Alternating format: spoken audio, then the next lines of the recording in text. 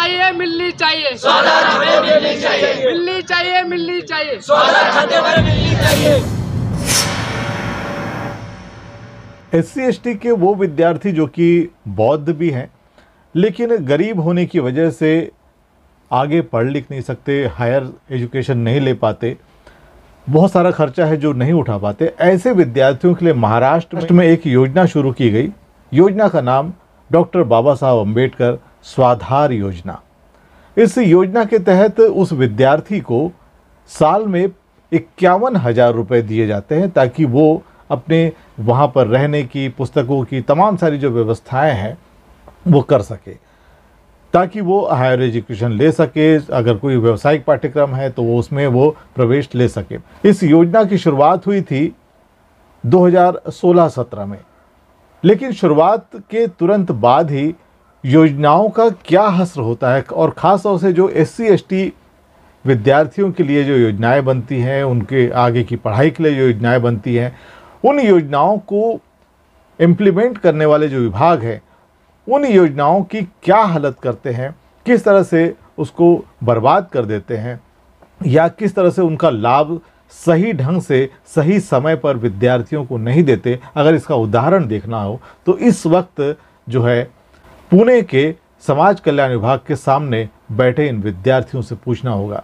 ये विद्यार्थी बताएँगे कि किस तरह से चार साल से इन्हें इस योजना का लाभ नहीं मिला है, जबकि ये 2016-17 में शुरू हुई थी और आज 2023 है और चार साल से इस योजना का लाभ इन्हें नहीं मिला है, जबकि ये आवेदन कर चुके हैं और इस वजह से ये अपने खर्चे, जो खास तौर से जो पढ़ाई के लिए जो खर्चे हैं, उसको ये सही ढंग से सही ढंग से उन खर्चों को नहीं पूरा कर पा रहे और इस वजह से इनकी पढ़ाई जो है, इनका जो एजुकेशन है, वो बाधित हो रहा है। क्या है पूरी जानकारी हमें दे रहे हैं मेघ श्याम गणवीर भी जो कि वरिष्ठ पत्रकार हैं पुणे में, इस वक्त सामाजिक तौर पर काफ़ी सक्रिय हैं और इन्होंने वहाँ जाकर इन विद्यार्थियों से बात की।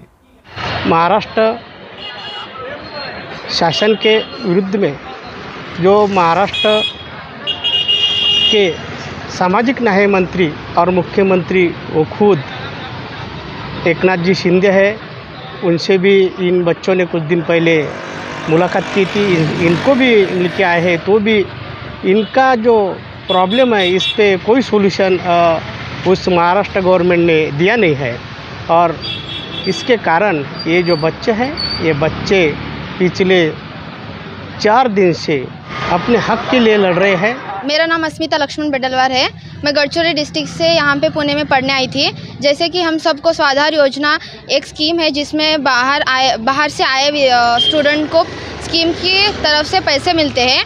बट दो साल से किसी भी स्टूडेंट को पैसे मिले नहीं है, क्योंकि सबका एक ही कहना है कि फ़ंड ही नहीं है। ऑफ़िस में जब फंड ही नहीं है तो स्कीम है, जो स्कीम है, उसकी तरफ़ से सबको, सब स्टूडेंट को फ़ंड मिलना चाहिए।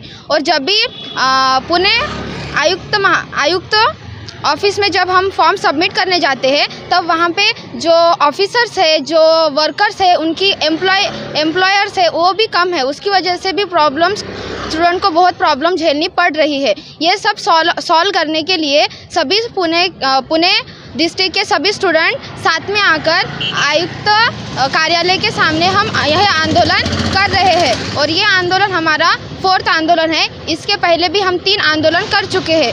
फिर भी हमारे प्रॉब्लम्स बिल्कुल सॉल्व आउट नहीं हुई। इसलिए ये हमें फोर्थ आंदोलन यहाँ पे करना पड़ रहा है। हाँ लास्ट मंथ हम मंत्रालय में भी जाके आए मंत्रालय में जाके आए हैं। वहाँ पे हमारी भेंट सीएम साहब से हो चुकी है। उसके बाद हमने सचिव सर को अपने प्रॉब्लम्स बताए अप्लीकेशन भी दी फिर भी उस वो प्रॉब्लम सॉल्व आउट नहीं हुआ है और कार्रवाई भी नहीं हुई है। और ये प्रॉब्लम सभी ध्यान रखते हुए हम ये आंदोलन कर रहे हैं। रस्सीना हमारा फौलाद है। रस्सीना हमारा फौलाद है। हम यहाँ पिछले एक साल से मांग कर रहे हैं हमारी जो स्वाधार योजना महाराष्ट्र की शासन जो इम्प्लीमेंट करती है उसमें हम सब विद्यार्थियों को बहुत सारे समस्याओं से जूझना पड़ रहा है। पिछले एक साल से हम ये चौथी बार आंदोलन कर रहे हैं। तभी भी उसकी दखल या के जो साहब है जो आयुक्त साहब वो नहीं ले पा रहे हैं। जो शासन निर्णय है इसका स्वाधार योजना का उसमें भी कोई बदलाव नहीं हो रहा है। इस और स्टूडेंट के खात जो अकाउंट उस पर ये स्कीम के जो पैसे हैं वो एक पिछले दो साल से आ नहीं पा रहे ये सा, सारी समस्याओं को ध्यान में रखते हुए हम स्टूडेंट ने पिछले बेमुदत धरने आंदोलन यहाँ पे रखा है। और इस आंदोलन का आज चौथा दिन है। यहाँ पर हमारी मांगे जब तक पूरी नहीं होंगी तब तक हम यहाँ से उठने नहीं वाले। ये हमने दृढ़ निश्चय किया है। जय अनुभव साठे जय भीम जय भीम जय भीम जय पेरियार जय भीम जय भीम जय भीम। उद्धव और कांग्रेस की जो आघाड़ी सरकार थी उस वक्त ये योजना शुरू थी और इस वक्त महाराष्ट्र में एक गुट, जो कि शिवसेना का एक गुट, शिंदे गुट और बीजेपी की सरकार है।